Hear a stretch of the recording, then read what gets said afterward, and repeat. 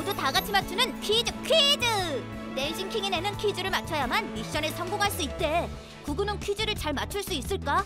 우리 친구들도 구구랑 같이 맞춰보자. 에? 근데 첫 번째 문제부터 너무 어렵잖아. 좀 더 쉬운 걸 내달라고. 어?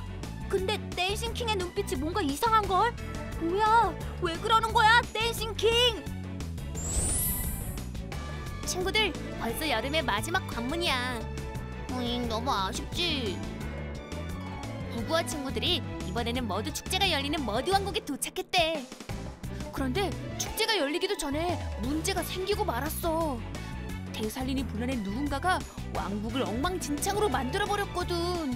아주 작은 발자국이 단서라는데 과연 부부와 친구들은 범인을 찾을 수 있을까?